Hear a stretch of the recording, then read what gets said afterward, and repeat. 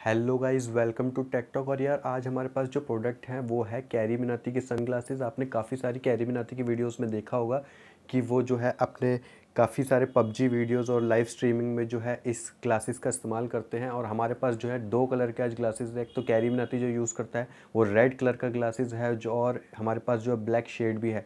और हमने जो इसको मंगाया है फ्लिपकार्ट से, चाहो तो आप भी जाके परचेस कर सकते हो। लिंक जो है डिस्क्रिप्शन में दे दे दिया है। तो सबसे पहले अगर हम फ्रंट बॉक्स पर नज़र डालें तो इसके सामने लिखा हुआ लव और यहाँ पे लिखा हुआ फिनोमिनल ग्लासेस और यहाँ पे कुछ उसकी डिटेल्स दी हुई हैं।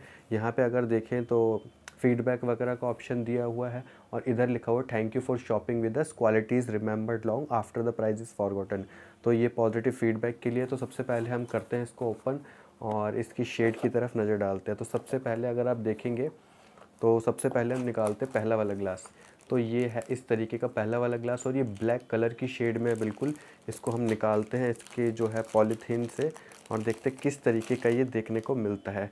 तो अगर आप शेड देखोगे तो यार काफ़ी प्रीमियम शेड लगती है। ग्लासेस जो है काफ़ी क्लियर हैं। और अगर मैं कहूँगा क्वालिटी की बात तो क्वालिटी भी ओके है। क्वालिटी लाइक अबव एवरेज से ऊपर ही है।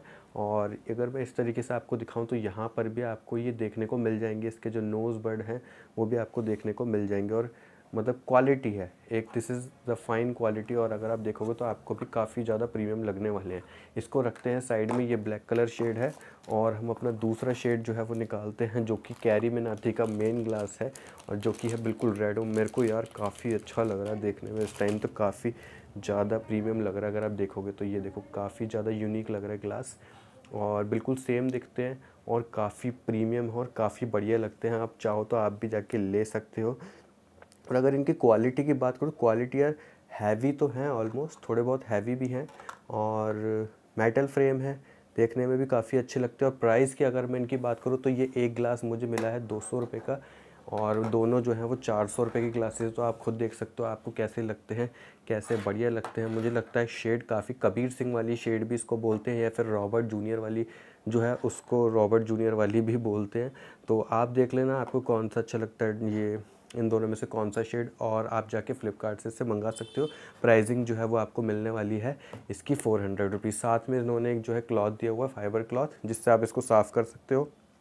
और चौथा, इन्होंने दिया हुआ एक कवर जिसमें आप इसको रख सकते हो। तो गाइज़ ग्लासेस काफ़ी अच्छे हैं, आप भी जाके खरीद सकते हो। लिंक जो है डिस्क्रिप्शन में दे रखा है। तो गाइज़ अगर इस तरीके की यूनिक वीडियोस देखनी है तो चैनल को सब्सक्राइब कर लेना और बेल आइकन पर जाके ऑल कर देना, क्योंकि इस तरीके की यूनिक वीडियोज़ हम आपके लिए हमेशा लाते रहेंगे। तो गाइज़ ठीक है thank you so much guys for watching the video जय हिंद।